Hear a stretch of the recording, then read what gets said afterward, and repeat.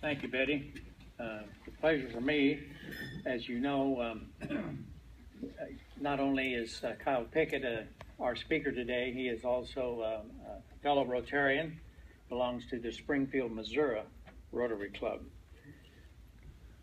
Topeka Symphony was formed in 1946 at the Topeka Civic Orchestra by Washburn professor Everett Fetter. The first performance featured 60 talented townspeople as well as Washburn University and Topeka High students. Since that time, it has just grown and grown and grown. Kyle Wiley Pickett was chosen as only the fourth conductor in the 67 year history of the Topeka Symphony Orchestra. Maestro Pickett took the stage in October of 2013. Wiley Pickett has established himself as a triple threat music director, a talented and visionary musician who has earned the respect of players, soloists, boards, and audiences. He has an excellent track record of orchestra building and great cultural leader in the communities in which he serves. Kyle Pickett is a native of Los Gatos, California. He holds a bachelor's degree in music from Stanford University and a master's degree in choral conducting from the California State University, Chico. His doctorate of music uh, arts degree in orchestral conducting was conferred by the Peabody Ops, uh, Conservatory in Baltimore. He is also an accomplished uh, flute player. He not only conducts the Topeka Symphony, he also conducts the Springfield Symphony in Missouri. This summer, the symphony performed on the Oregon Trail, as you many know, many of you know, from up north here at Marysville, and uh, had nearly 2,000 people in attendance. And uh, in talking to him, it looks like this may be an annual event. He and his wife Alice have two young sons. Uh, I think he said uh, six and nine. Six and nine, yeah. And they also enjoy water skiing, hiking, and traveling together. My wife Suzanne and I have had several opportunities to go uh, and attend concerts at White Concert Hall in Topeka on the Washburn University campus, and we'll be there several times this year in 2015 16. Suzanne is also a member of the Symphony League Board there for the Symphony. Support for the Symphony has grown through the years. In addition to hundreds of patrons who annually contribute to the Society, an endowment fund was created in 1990 since then, over $1 million have been raised to ensure the symphony's future, Topeka. You have brochures on your tables, and I do hope that you'll take advantage of those and find time to attend one or more of the concerts in Topeka at White Concert Hall. One hour away in a great concert hall to listen to excellent symphony orchestra. It's my pleasure to present Kyle Wiley Pickett.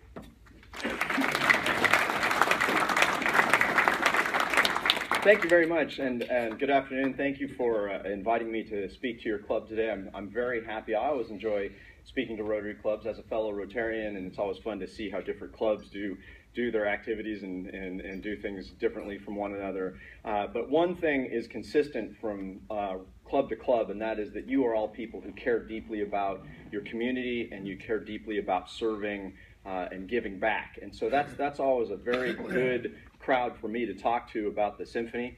Um, what, I, what I'm going to do today is talk a little bit um, about two things. Uh, I've, I've realized over the years of giving talks at Rotary that when questions come up afterwards, they're almost all about how do you become a conductor and what do you do as a conductor. Uh, so I'm going to spend a little bit of time talking about that, uh, how you become a, a, music director for an orchestra, and then tell you a little bit about what's going on in the Topeka Symphony and uh, hopefully convince some of you to come over and, and and give us a listen and, and, see what we have going over there in Topeka. Uh, I, I do come from California. Um, as Dale mentioned, I'm, I'm a native of the Bay Area in California. And uh, my wife is from, from Iowa, though, and so she's been wanting us to get back to the Midwest for, for some time. And there have been some learning experiences in, in moving out to the Midwest for me. Uh, one thing was when I came to Topeka right away, I was told in no uncertain terms, you do not take sides between K State and KU. we are, I'm, I'm like Switzerland in that in that issue. And in fact, I was, uh, uh, as Dale mentioned, I also conduct the Springfield Symphony so in Missouri, so I, I split my time between Missouri and Kansas. And I was at one of the introduction events with the Topeka Symphony, and someone got up and said, "Okay." I get that you go to, from Missouri to, uh, to, to Topeka, but you also are not allowed to ever, ever root for Mizzou. And, and I said, that's all right. I'm, I'm actually a Stanford grad. I'm a Pac 12 fan. I will always be a Pac 12 fan. And those people booed me. They booed me, and they booed me a lot. and then later, as I was talking about how warm and friendly the people in Kansas are, so, someone got up and said, I'm, I'm really sorry that we booed you over that. But, but I am a Pac 12 fan, and so I'm still riding high on Stanford's defeat of USC. That's, that's what I'm holding on to, probably for the rest of the season, I think. So, uh, so anyway, I, I am uh, very, very happy to be out here. I'm very happy to be out in the Midwest. Um, it is commonplace for a regional conductor to conduct two orchestras. And so uh, right now, for me, those two orchestras are Springfield and Topeka. Um, there's a really wonderful synergy that happens, I think, when you're conducting multiple orchestras because so much of what we do is administrative and fundraising and so forth. And so we can really bring a lot of experiences from one orchestra to, to the other. Uh, before I came out here, I spent the last 14 years out on the West Coast, and I conducted an orchestra in Northern California called the, called the North State Symphony that played way up, you know, close to Oregon uh, in Chico and Redding, California. And then I also conducted the Juneau Symphony in Juneau, Alaska. So I commuted back and forth from California to Alaska. So really, Springfield to Topeka is pretty easy commute. That is that is not hard com- compared to what I did do. Um, but uh, I, I want to tell you a little bit about how you become a conductor and, and what it is I do. I mean, being a conductor is really a very strange way to be a musician, and it's a very strange way to make a living. It's a strange way to be a musician because uh, I, I spend my life doing musical performances, and I'm the only guy on stage who does not make a sound the entire time. And then I get to turn around and take the applause on behalf of the orchestra. So that's kind of an odd position to be in. So my music making is is almost entirely what happens up here in my head. Um, combined with what I feel in my heart and then expressed through waving my arms. And, you know, for those of you who've been to the orchestra or been to an orchestra, you know that your view of the conductor is this, right?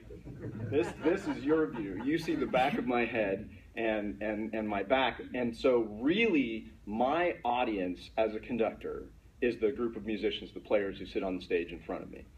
And so it's, a, it's an interesting path to go from being a musician to being the conductor, the person who stands up in front. And for me, it started um, back really in, in elementary school. My mother happens to be an elementary school music teacher, music specialist, um, and a piano teacher.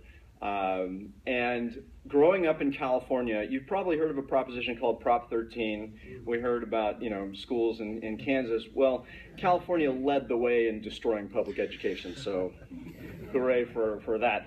Um, I call myself a Prop 13 kid. Proposition 13 passed the year I went to school. And so I actually rode a wave on the front side of the wave of budget cuts, and my sister, who was three years behind me, was on the back side of that wave of budget cuts.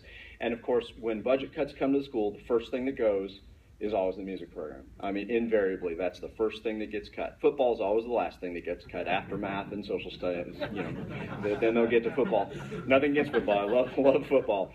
Um, but the music music program gets cut. I happen to be fortunate because my mom was a music teacher, and so as the cuts were happening, she stepped in and gathered a group of parents and said, We're going to keep music going in these schools. And so uh, they raised a lot of money privately and, and personally to make sure that instrumental music continued on at the schools. I started by playing piano with my mom. She was my first piano teacher. That lasted for a couple of years, and then she said, I think we should find another teacher for you. And it wasn't really because we didn't get along, it was probably because we got along too well. And, and so she would excuse me from practicing and playing, you know, when you have too much homework and so forth. Um, and you really need someone who, who is, am I doing something here? Just jiggle it? There, okay. Uh, hit it harder. Hit it harder. Uh, so I, I, I, went to another teacher and then actually took up uh, took up the flute as my performing instrument uh, in fourth grade. I've never never been quite sure why I did that. I always wanted to play the trumpet, but somehow chose the flute when it was time to choose an instrument. And there's a very direct uh, relationship between my choosing the flute in fourth grade and my being a conductor today. And that relationship happens in high school when suddenly it's not really the popular thing for a boy to play flute in high school. Which is funny because I actually always tell people today, you know, playing flute in high school meant I got to sit with the girls. I didn't have to sit with the sloppy guys in the trombone section in the back of the orchestra. But still, that didn't really matter. And and Um, we had no orchestra program in our high school, so yeah, trombone player over here. Yeah, sorry. Uh, there's an adage among conductors: is never look at the trombones; it only encourages them. So we, we try to try to avoid that. We didn't, you know, as I said, we had we had cuts, so we didn't have orchestras in our high schools in California. So we had bands. And we had a very fine band program. We had concert band and marching band. I loved marching band. I loved every minute of it except for the part where I was playing flute on a football field. Because the definition of futility is playing flute on a football field. Nobody can hear you, for one thing. When the wind blows, you can't make a sound, for another thing. And again, it's that 15 year old boy on a, on a high school football field with a flute in his hands. That's kind of a rough thing to do. And that really led me to, uh, to want to be the drum major. So I became the drum major for the marching band and led the marching band. And, and that was really my first taste of conducting, was conducting that band on the football field. And uh, for a couple years, we had a, a, a, more successful band program than we did football program. That was kind of a fun thing for us. Uh, when I went off to college, I knew I wanted to study music, but I wasn't really intending to be a professional musician. Um, so I wanted to go to a university where I could study at a serious level, but also do other things. And so I, I chose Stanford University uh, for its academics, but also because it had a, a, really outstanding uh, flute teacher uh, my teacher there was a woman named Frances Blaisdell, a really extraordinary woman, just passed away a couple years ago. Um, she was 96 years old. She was still teaching full time at Stanford uh, the year that she passed. She was the first woman to go to the Juilliard School. She was the first woman to play in the New York Philharmonic. I mean, those are significant milestones. Uh, her husband had been the principal clarinetist for Toscanini, and, and you walked into their house, and it was a veritable museum of the 20th century you know, in music. Aaron Copland, pictures of Rachmaninoff and Stokowski, and I mean, you name them. If it's a 20th century musician, they're in that house uh, on the wall. And so my studies with Frances gave me that direct connection to some of those great geniuses of the 20th century. And my work there, I studied music and I also studied political science. I thought I might go into politics, and it turned out I did. I just happened to go into musical politics in, in being a conductor. And so when I was a senior, I went to Frances and I said, you know, I'm, I decided I'm going to go on in music. And she said, are you going to be a flute player? And I said, no. And she said, okay, good, that's fine. And uh, I was a little bit offended, but she said, uh, no, go on, be a conductor. That's, that seems to be, that's, that's your fit. And so I went on and studied conducting at, at the graduate level. Um, learning how to conduct is a, is a difficult task because conducting the mechanics of waving your arms is the very smallest aspect of it. I mean, that can be done in front of a mirror very easily, but conducting is really a matter of learning music, learning the, what's on the printed page, making the decisions, having the vision for that music, and then getting a group of people to go along with your vision and put it together in, in the way that you all, uh, or that you as the conductor decide to lead. And so to learn how to do it, you have to practice it with a lot of people. And so I was fortunate to go to a conservatory at Peabody Conservatory in Baltimore where they had a dedicated orchestra just for the conductor program. So we had 80 people who would sit there twice a week for us and play as we studied and practiced our craft with our teacher right behind us. And this was a fairly uh, unusual program. I think it was unique at its time. There are a couple other conservatories that now have programs like that, but I was very fortunate to work at, at Peabody. So that's sort of the nuts and bolts of how you become a conductor. The what you do as a conductor um, about 10 20% of what we do is musical, and that's in our rehearsals with our players and, and our performances. And then the other 80% is all administrative and things like this. We're raising money, we're raising awareness, we're, we're advocating for the orchestra, and we're advocating for music in our communities. That is really what we're doing as, as a music director for an orchestra. So I want to tell you I have a few minutes left. I want to tell you a little bit about what's going on with the Topeka Symphony. You know, our cities, Manhattan and Topeka, are, are not that far apart. Certainly not by Californian standards, where we drive an hour to just about anything. And uh, I know some of you have seen the Topeka Symphony, have come over to see us. Some of you saw us up in Marshall County when we played at the Oregon Trail uh, last month. Um, and I would love to urge you to come over and see a little bit of what we have going on, and also tell you that one of my goals for the Topeka Symphony is actually to get us out of Topeka and all across northeast Kansas. We've actually had some talks already at McCain. We're hoping that sometime in the next year or two we're able to bring the symphony here to Manhattan. I'd love to do that. Um, but again, I'd love to have you come out and see us. We are a uh, professional regional orchestra. And I like to make that distinction to people. People often ask, you know, are, are, your players paid or are they volunteers? We're a professional orchestra, but our players don't make their full living playing with the Topeka Symphony. I mean, for that, you've got to get up into the ranks of, you know, Chicago, New York, you know, Philadelphia, even Kansas City. You know, you can make your living doing that. So our players make their living by freelancing among a number of orchestras, teaching students privately, teaching in the schools. They're, they put together a living most of them are professional musicians or pre professional musicians, conservatory students. Um, some of them, uh, music is their avocation, but they play at a level that they can compete for a professional job. They are paid for everything they do. So every time we have a rehearsal, every time we have a performance, those players are, are paid. We are entering our 70th year as an orchestra. We made the transition that most orchestras do from a community orchestra, volunteer, fun orchestra that, that became eventually over the years a professional orchestra.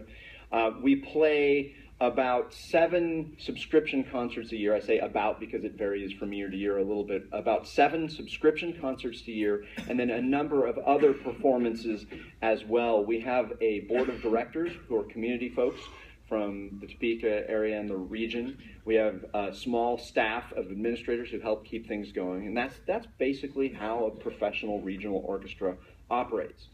Um, so we do a seven concert subscription season. We do school days concerts. We do uh, several concerts for kids um, in in Topeka. Uh, kids come from Topeka. Do I have to hit this harder?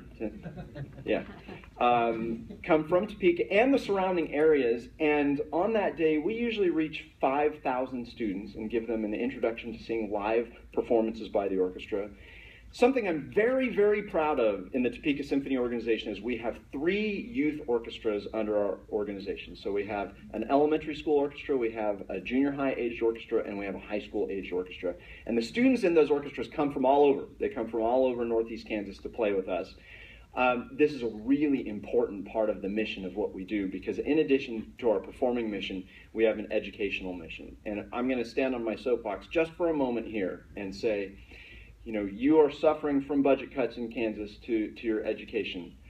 Um, we are so concerned these days with test scores and achievement among students in our schools. We want them to score better and be competitive in math and in science and, and in, in English and language arts. If you want your kids to do better in school, if you want their scores to go up in math, if you want their attendance to be better, if you want their behavior to better be better, put an instrument in their hands.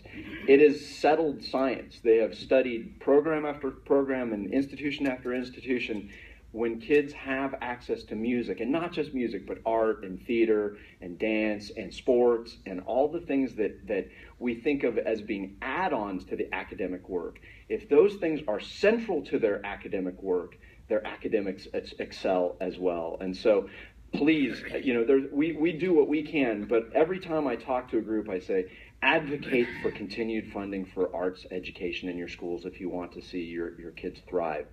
Um, there's so much more to talk about, but I really don't have much time, and I would like to take a couple questions if, if we might. I, I would say this uh, the Orchestra on the Oregon Trail program that we started uh, up in uh, Marysville, up in Marshall County. Uh, last month was a wonderful event. It was um, it's something that I think we're going to continue from year to year. Uh, it's an outdoor festival. It's a, sort of like what happens with the Kansas City Symphony when they come over and do symphony on the Flint Hills, uh, but it's very place specific up there on the Oregon Trail. Uh, we had a great turnout. There were bands throughout the day, and then the symphony played that evening, and we're really looking forward to doing that again. I hope you might come out to that. And our season starts next Saturday, a week from Saturday. Um, and we're going to be playing wonderful music. You know, we play the traditional symphonic repertoire, Beethoven, Brahms, and Mahler, and Rachmaninoff, and so forth. And we also do pops concerts, and we do Christmas concerts, and we do a variety of things. And so I, I know we have spread around some brochures. If you ha- or if you're interested at all in that, take a look and see what we have to offer. I think you'll be really uh, very pleasantly surprised at the level of professionalism, the level of performance that you can see. Uh, and White Concert Hall over at Washburn University is a really terrific place to see musical performance. It is it is one of the best halls I've ever played in. It's very intimate and you feel very close and very connected to what's going on. So come out and see us, um, and then we'll try to come over and play right here in your community. Thank you very much. Any any questions? Anything anybody would like to ask? Trombones versus flutes, those kinds of things. yes. I do. I do still keep it up. I, I, I, I do it in a very dumb way, which is I, I don't practice as regularly as I should because I, I definitely was a performer before I, you know, went into conducting. And, and my teacher had said play all the time. And so now what I do is three or four times a year when I perform, I have to get into shape and it, it hurts and it's no fun. And then I say, after I perform, I say, oh, I'm going to just play a couple times a week and then I don't and then I have to do it again. I do play the piccolo also.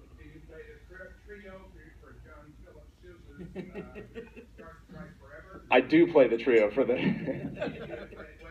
I can play it well. I just, mentioned that because every flute player, I love to hear that piccolo part. It's an incredible effort, and I know if you do it, and I know you do. Yeah. Because it would have to be one of your better. Yeah, it goes. It goes like that. Um, actually, I'm going to tell you a funny story. This is a different. This is a Midwest issue versus a California issue. Um, last week and a half ago, we were having auditions for a new piccolo player for the Topeka Symphony. The position was won by someone from from Manhattan. And I should mention, we have about a dozen Manhattan musicians who come over and play in the Topeka Symphony. We had auditions. This was at Washburn. This was the night of the storm where we got four inches of rain over there. And we were having uh, our auditions are blind auditions, so there's a screen set up and the player plays behind, so we don't know who is playing uh, to keep it very impartial and um, the audition's going on, and suddenly the Washburn marching band bursts in. It's those trombone players again. The, the Washburn marching band bursts into the hall and interrupts this audition. This poor gal was trying to do her audition. Turns out the tornado sirens were going off. You can't hear tornado sirens when you're listening to piccolo auditions. That is something that actually will wipe out a tornado siren. So piccolo does do that. Any other questions? Thank you very much for the opportunity to talk to you. Please come see the Topeka Symphony, and we'll, uh, we'll hope to, to see you soon.